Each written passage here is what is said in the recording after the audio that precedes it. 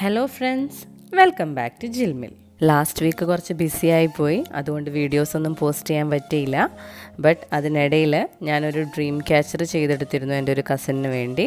അപ്പോൾ ഇന്നത്തെ വീഡിയോയിൽ ആ ഡ്രീം ക്യാച്ചർ എങ്ങനെയാണ് ചെയ്തെടുത്തതെന്നാണ് ഞാൻ കാണിക്കാൻ പോകുന്നത്. അപ്പോൾ വീഡിയോയിലേക്ക് കടക്കുന്നതിന് മുമ്പ് എന്നും പറയുന്നത് പോലെ ഇതുവരെ ഈ ചാനൽ സബ്സ്ക്രൈബ് ചെയ്യാത്തവരുണ്ടെങ്കിൽ ദയവായി സബ്സ്ക്രൈബ് ചെയ്യുക. പിന്നെ വീഡിയോസൊക്കെ നിങ്ങൾക്ക് യൂസ്ഫുൾ ആയിട്ട് തോന്നുന്നുണ്ടെങ്കിൽ ഫ്രണ്ട്സിനും ഫാമിലിക്കൊക്കെ ഷെയർ ചെയ്യാം അപ്പോൾ നമുക്ക് വീഡിയോയിലേക്ക് കടക്കാം. ആദ്യം തന്നെ ഞാനിവിടെ ഒരു എംബ്രോയ്ഡറി ഹൂപ്പ് എടുത്തിട്ടുണ്ട്. ഇത് കുറച്ച് ബിഗ് സൈസിലുള്ളതാണ് അവർക്ക് കുറച്ച് വലിയ സൈസിലുള്ള ഡ്രീം ക്യാച്ചർ വേണം എന്ന് എന്നോട് പറഞ്ഞിട്ടുണ്ടായിരുന്നു. അതുകൊണ്ട് ഞാൻ കുറച്ച് വലിയ സൈസിൽ തന്നെയാണ് എംബ്രോയ്ഡറി ഹൂപ്പ് എടുത്തിരിക്കുന്നത്.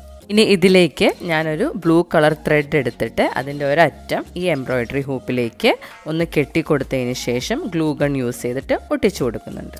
നമ്മളിവിടെ വളരെ കോമൺ ആയിട്ടും എങ്കിൽ ബേസിക് ആയിട്ടും ഡ്രീം ക്യാച്ചേഴ്സിൽ നൂൽ വെച്ച് ചെയ്തെടുക്കുന്ന സെയിം നെയ്ത്ത് തന്നെയാണ് നമ്മൾ ഈ ഡ്രീം ക്യാച്ചറിലും ചെയ്തെടുക്കുന്നത്. ഇവിടെ ഇപ്പം ഞാനൊരു വലിയ റിങ്ങിലാണ് ഡ്രീം ക്യാച്ചർ ചെയ്തെടുക്കുന്നത്. അതുകൊണ്ട് തന്നെ ആദ്യം ഞാൻ അത്രയും നൂൽ എടുത്തിട്ടുണ്ടായിരുന്നില്ല.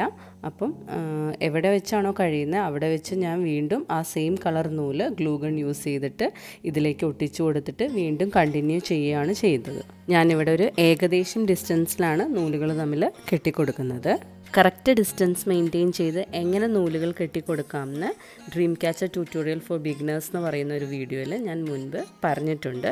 അപ്പോൾ എന്തെങ്കിലും ഡൗട്ട് ഉണ്ടെങ്കിൽ ആ വീഡിയോ ഒന്ന് കണ്ടു നോക്കിയാൽ മതി. അതിന്റെ ലിങ്ക് ഞാൻ ഡിസ്ക്രിപ്ഷൻ ബോക്സിൽ കൊടുത്തിട്ടുണ്ട്.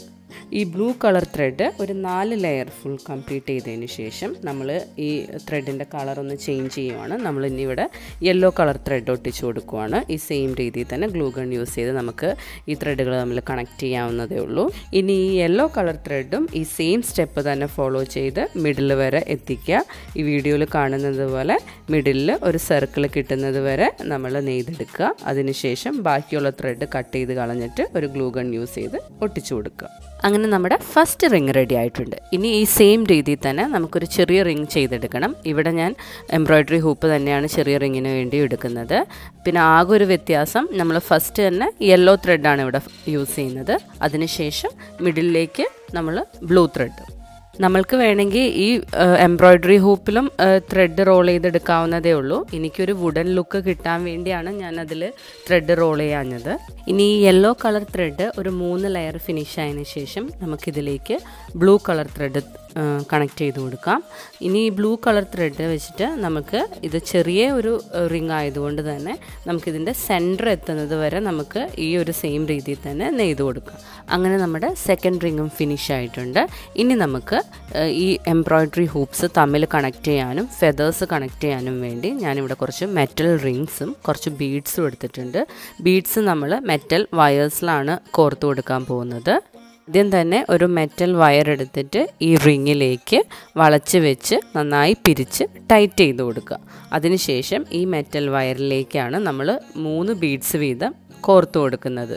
എന്നിട്ട് വീണ്ടും ഒരു മെറ്റൽ റിങ് എടുത്തിട്ട് ഈ വയറിലേക്ക് വളച്ച് വെച്ചിട്ട് ടൈറ്റ് ചെയ്ത് കൊടുക്കുക. ഇനി നമ്മൾ ചെയ്ത് വെച്ചിരിക്കുന്ന ഈ ഒരു പീസിന്റെ അറ്റത്തെ റിങ്ങിലേക്ക് വീണ്ടും വയർ കണക്ട് ചെയ്ത് വീണ്ടും ബീഡ്സ് കോർത്ത് കൊടുക്കുക. എന്നിട്ട് അതിന്റെ അറ്റത്തും ഈ റിങ് കണക്ട് ചെയ്യുക.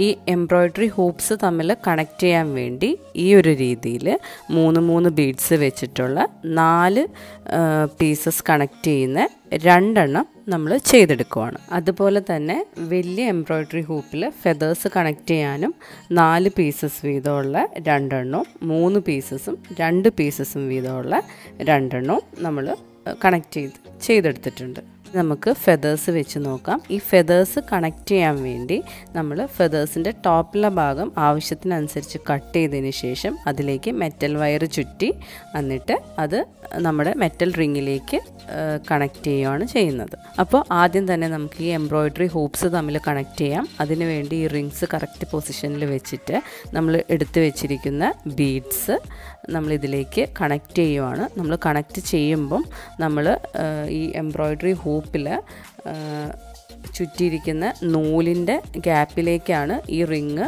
കണക്ട് ചെയ്ത് കൊടുക്കുന്നത്. അതുപോലെ തന്നെ ഫെദേഴ്സ് ഹാങ് ചെയ്തിട്ടുള്ള ബീഡ്സും നമുക്ക് കണക്ട് ചെയ്ത് കൊടുക്കണം. വലിയ എംബ്രോയ്ഡറി ഹൂപ്പിൽ മൂന്ന് ലെയേഴ്സ് ആയിട്ടാണ് നമ്മൾ ഈ ഫെദേഴ്സ് കണക്ട് ചെയ്ത് കൊടുക്കുന്നത്. മുകളിൽ നിന്ന് താഴോട്ട് ലെങ്ത് കൂട്ടി കൂട്ടിയാണ് നമ്മൾ കണക്ട് ചെയ്തിരിക്കുന്നത്. അതുപോലെ തന്നെ താഴത്തെ എംബ്രോയ്ഡറി ഹൂപ്പിലും നമ്മൾ മൂന്ന് പീസ് ഈ ഒരു രീതിയിൽ ഫെദേഴ്സ് കണക്ട് ചെയ്തിട്ടുണ്ട്.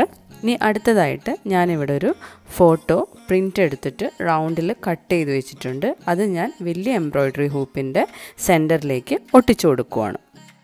അതുപോലെ തന്നെ ഒരു ചെറിയ ബീഡ് ചെറിയ എംബ്രോയ്ഡറി ഹൂപ്പിന്റെ സെന്ററിലും ഒട്ടിച്ചു കൊടുക്കുന്നുണ്ട്.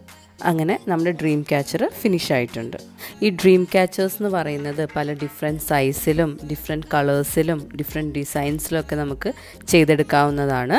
അപ്പോൾ ഇന്നത്തെ ഈ ഡ്രീം ക്യാച്ചർ ഡിസൈൻ നിങ്ങൾക്ക് എല്ലാവർക്കും ഇഷ്ടമായെന്ന് ഞാൻ വിശ്വസിക്കുന്നു. അപ്പോൾ ഡ്രീം ക്യാച്ചേഴ്സ് ഒക്കെ ചെയ്യാൻ ആഗ്രഹമുള്ളവർ ഈ ഡിസൈൻസ് ഒക്കെ ഒന്ന് ട്രൈ ചെയ്യുക. നിങ്ങൾക്ക് ഈ വീഡിയോ ഇഷ്ടമായെങ്കിൽ ലൈക്ക് ചെയ്യുക അഭിപ്രായങ്ങളെല്ലാം കമന്റ് ചെയ്യുക. മറ്റൊരു ക്രാഫ്റ്റ് വീഡിയോ ആയിട്ട് നമുക്ക് അടുത്ത ആഴ്ച കാണാം. Until then bye from Jhilmil